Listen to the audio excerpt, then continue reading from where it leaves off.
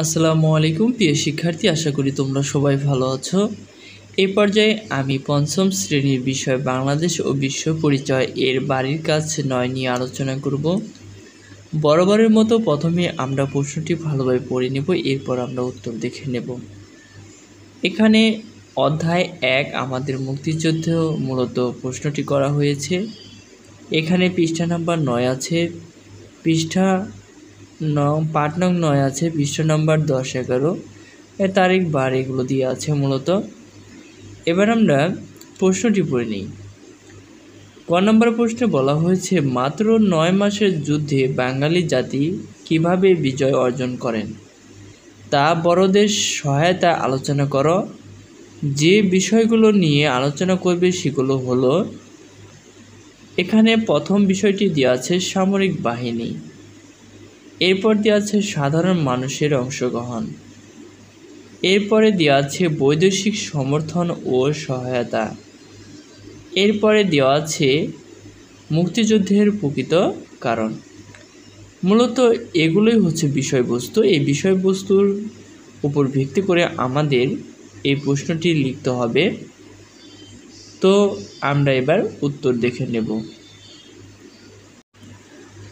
এখানে প্রশ্নটি ছিল, মাত্র নয় মাসের যুদ্ধে বাঙালি জাতি কীভাবে বিজয় অর্জন করেন? তা বড়দের সহায়তা আলোচনা করো।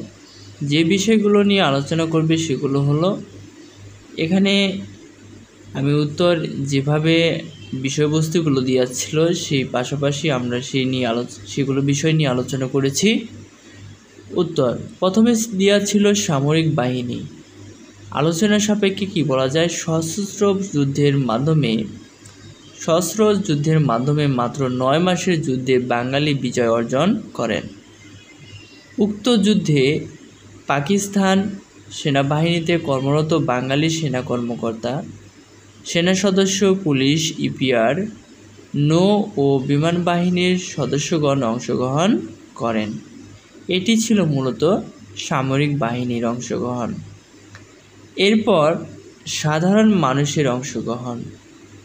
সাধারণ মানুষ মুক্তিযোদ্ধাদের আশ্রয় দিয়ে, যুদ্ধের অবস্থান ও চলাচলের তথ্য দিয়ে খাবার ও ঔষধ সরবরাহ করে, সেবা দিয়ে ও খবরাখবর সরবরাহ করে সহায়তা করেছেন।